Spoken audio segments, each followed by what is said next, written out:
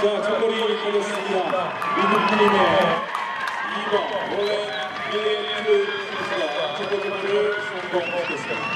All for United States of America. By player number two, Lauren Milliet.